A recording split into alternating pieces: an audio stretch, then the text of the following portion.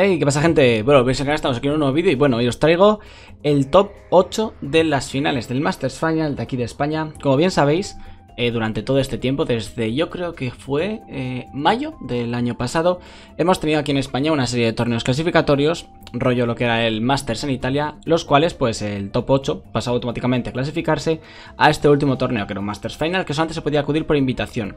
Entonces, yo lamentablemente no pude acudir, he estado con mil faenas de trabajo y demás y por indisponibilidad de viajes. Sin embargo, eh, de mi manera de aportar a la comunidad y de seguir subiendo contenido de info más diariamente, ya que con el tema de trabajo y tal, pues lo he dicho, no tengo tanto tiempo para dedicarle al juego. Quiero hacer un pequeño análisis de las barajas, de los decks que, han topeado.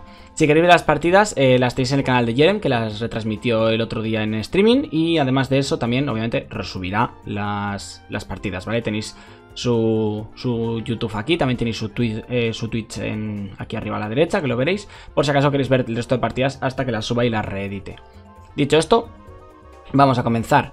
Eh, se notó muchísimo la presencia del metagame todavía de los rulers con divinidad, es lógico y normal. Con Alicia uno solamente a la venta suele pasar lo de siempre, que hasta que no suele haber dos, tres expansiones con rulers nuevos y mecánicas nuevas más asentadas, es bastante extraño que después de un primer solamente expansión de bloque tengamos ya muchas cartas nuevas en el, en el meta. Sin embargo, sí que se pueden ver pequeñas adiciones a este tipo de decks, como hemos sido, por ejemplo, aquí tenemos el sello Linet, entre otras cosas, también la luz de, de Arturo. Aún así, eh, hay que esperar a que el meta se desarrolle ahora con la salida de, Alice Origin 2, que salen otros tres rulers, que son Machina, Valentina y Pricia. Yo creo que con esos rulers el meta va a cambiar bastante, y más con, barajas agro como puede ser la Pricia. Dicho esto, vamos a comenzar. Tenemos en primer lugar a Javier Herreras con un deck de Hanzo Control, con Kaguyas. También tenemos obviamente las Darkalis, que ya sabéis que son bastante caras. Eh, obviamente no pueden faltar las alicias de Zeus, ya sabéis que son unas cartas asquerosamente difíciles de quitarte de en medio en, partidas, más que nada porque al tener Eterno además no puedes destruirlas. La única manera que puedes hacer es removerlas del juego. Que lo bueno que tiene es que para eso lleva la Luz de Arturo, creo que se llama la carta. Voy a darle un momento. Creo que se llama Luz de Arturo, pero creo que me estoy equivocando. Luz del Espíritu Sagrado, ¿vale? Que es esta de aquí. Que puedes eh, retirar del juego un personal objetivo de 900 de ataque o más, ¿vale? Entonces, con esa carta puedes remover las alicias. También lleva la Kurasagi Motoko, ¿vale? Que es la carta de Ghost Shell promo, que os recuerdo que saldrá otra promo de coste 3 en, los precos nuevos de Alice Origin 2. Y por lo demás tampoco lleva nada muy fuera de otro mundo lo que vimos sobre todo en los mundiales de FOU, ¿vale? El sello de Lenet es una de las cartas que más eh, juego ha visto entre comillas, ya que por un blanco es súper buena, puedes retirar cualquier resonador del juego o addition, y hasta que no se vaya la carta del sello de Lenet, la carta no vuelve, entonces es extremadamente desagradable. Entonces, la baraja es muy estándar, muy bien montada, muy sólida, eh, simplemente son algunos cambios pequeños como puede ser la addition o la luz del espíritu sagrado para el mirror, por ejemplo. Francois Villaut, eh, jugador francés que vino a jugar el, el que vino a jugar el Masters Final, creo que se clasificó, obviamente, y increíblemente quedó segundo. O sea, podría haber ganado el Invitacional de España un francés, habría quedado bastante gracioso por los memes, pero bueno. Lleva en el deck eh, una baraja de, de Isis Agro, y luego lleva también, obviamente, eh, lleva la, la carta esta de Luz de Resurrección y de... ¿Cómo se llama? No me acuerdo nunca el nombre de las cartas, ¿verdad? Son Luz de la Devastación y Resurrección, ¿vale? Que te permite traerte un bicho retirado. Entonces, Puedes, por ejemplo, traerte la Cenia si la tienes retirada. También lleva un... Lleva un señor eh, Satán, por tanto lleva la invitación, la invitación al inframundo para poder tirarte el Satán y con ello ya poder hacer diferentes combos. Lleva Rukeg, lleva también obviamente el, el Su para poder rampear, para poder usar esos turnos.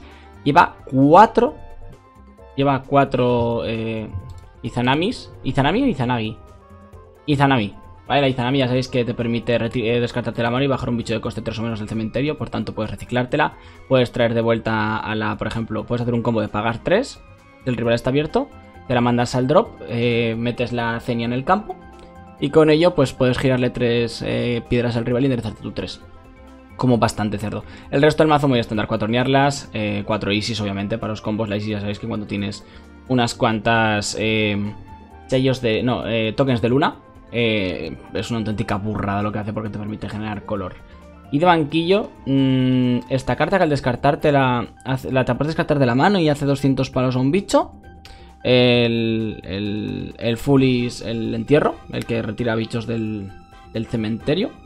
Kurasagi Motoko supongo que para control, más acenias. Imagino que para algún tipo de baraja de combo, también para control, para poder tener más y poder tirarlas con más facilidad. Y luz del espíritu sagrado, que va a ser una tónica que vamos a encontrar para poder removerte del juego esas alicias que son muy peligrosas.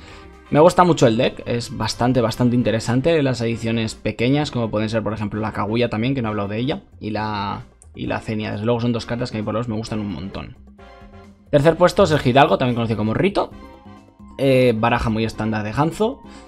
¿Algún cambio en especial? Bueno, lleva un arte de mago de uno, de volver a la mano y robar una carta. No lleva Kurasagi Motoko de base, lleva las, las T-Ball Flip, que son muy buenas contra Isis, ya que te permite limpiarle los bichos.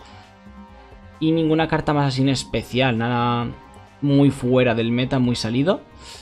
Y de banquillo lleva dos Lokis perfectas y las estatuas. Las estatuas no sé para qué uso les dará. Supongo que para tener una carta fuerte en campo. No sé muy bien el uso de las estatuas, ya que no tienes nada que maneje contra el 100-100. Pero las Lokis perfectas sí, al final limpian campo, son súper, súper buenas. Eh, desde luego, carta que, aunque no lleves el Loki perfecto de, de Ruler, se ve, porque es muy, muy potente. Cuarto puesto, Mauro Ferreiro de Otecats. En este caso, baraja también hiper estándar, prácticamente igual que la de Herreras. Podemos decir que la, que la lista es prácticamente igual. O muy similar. Muy, muy similar. No ya Kurasagi Motoko de base. Es único cambio así que veo muy palpable. Lleva cuatro Arondites para poder anular a la, a la Kaguya. Y lleva de banquillo eh, la bala para poder intercambiar bichos, que es una carta también que se puede ver bastante, ya que la bala es muy molesta. Si el rival no tiene ninguna manera de lidiar con ella, le puedes quitar una carta muy grande al rival. Lleva también obviamente Loki perfecto, lleva el, el Tengu, que no me acuerdo cómo se llama ahora, dame un segundo. El Tengu se llamaba la Karu, eh, porque pone Karuda. Esto está mal, es eh, Karura. Bueno, esta pone Karuda, pero es, es Karura, ¿vale? Eh, Bastet, 4 Tibol Flip, y, eh, onda, lleva dos eh, Whisper of the Angels, ¿vale? Esta carta es por un blanco. En el turno del rival solamente la puedes jugar, no puede ser perseguida. Y le das más 8 más 8 y barrera al, al resonador objetivo. Es interesante para poder protegerte bichos. Puedes protegerte a la Alicia super gratis por un blanco. Porque además no se puede perseguir, por tanto es innegable. Bastante, bastante buena. Pero de banquillos también. Además también te permite protegerte de, chispas. Por ejemplo, contra, contra Isis puede ser no tampoco una mala carta. Puedes pagar un bicho muy pequeño, darle más 2 más 2. Bueno, más 8 más 8 y así no te lo pueden matar de ninguna manera. Interesante. Quinto puesto, José, José Ángel Marinero, con una baraja de Melgis. Mira, aquí ya tenemos una, novedad. Eh, lleva de base invitación al inframundo. Supongo que para tirarse algo para producir color. Un poco rara esa... Un poco rara, la verdad. Bueno, también te puedes producir un rojo y un negro. A lo mejor si traes doble piedra negra. No entiendo muy bien esa carta para qué la lleva. Lleva cuatro... Eh 4 March of the Death para resucitarte todo lo que sacas y luego básicamente jugar muy alrededor de la Saxi por lo que estoy viendo. Lleva muy pocos bichos, full Saxi, lleva el de destrucción de campo, lleva Lailas, pero lo que estoy viendo es eso, que el mazo juega full Saxi, supongo que le das la vuelta rápida al ruler e intentarás de, sacar ventaja a partir de ahí, pero desde luego cuidado. O sea, no me, no me acaba de convencer pero entiendo que es una, carta bastante, bastante, bueno, un deck bastante, bastante bueno. Y el Asaxi obviamente es increíblemente destructiva si le consigues sacar provecho con esa habilidad de poder copiarte los artes de espada. Además que ella misma se considera J-Ruler, por tanto gana los efectos, por ejemplo, de la, de la Eva por tanto entra con prisa. Muy, muy bestia. El, tema de la Saxi porque son 7, además se pone contadores, no se dopa. Entonces al ponerse 7 y 7 son 14 se vuelve una 20-20. Puede llegar a dar muchísimos problemas al rival. Y con el tema de que te la matan, pues March of the Dead y vuelve y March of the Dead y vuelve todo el rato, puede realmente dar muchísima guerra. Sexto puesto, Enrique González, también conocido como Rege, también eh, jugador del equipo de T-Cats.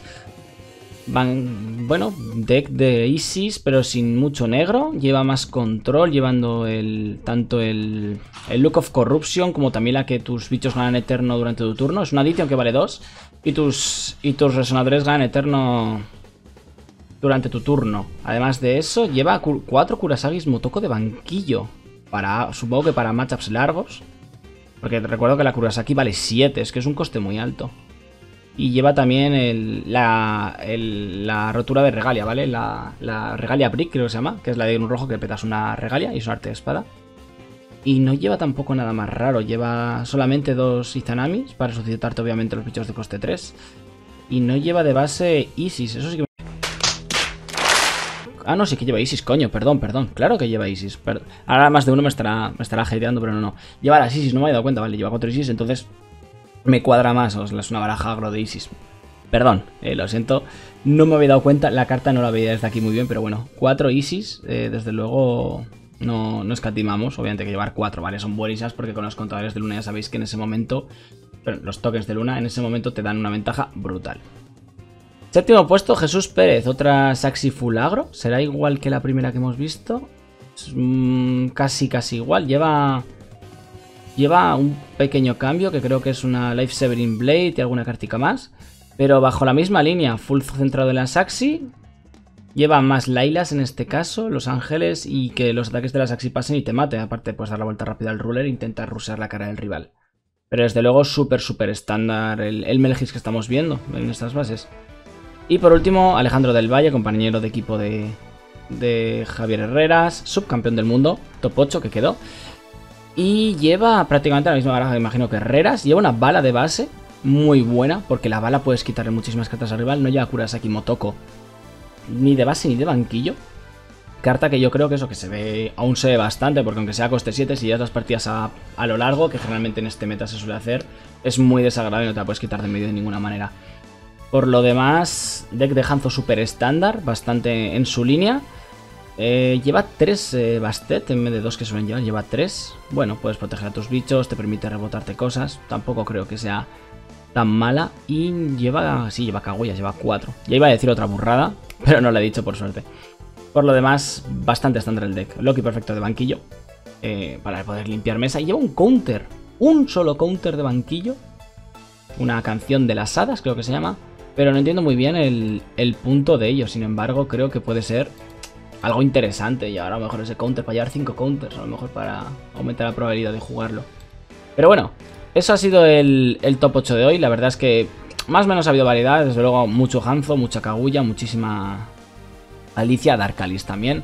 Sin embargo, espero que con el, con el meta que viene ahora puede ser algo muy interesante. También aprovecho para deciros, ahora que me acuerdo, este jueves se abra por la tarde streaming de que voy a analizar toda la expansión de Alice Origin 2, ¿vale? Entera, la voy a intentar analizar y estaré pues eso en twitch.tv barra lomachu eh, comentándola. Poquito más, espero que os haya gustado, como siempre podéis suscribiros al canal si no estáis, seguirme en mis redes sociales abajo en la descripción, suscribiros si no estáis y nos vemos en otro vídeo. Adiós.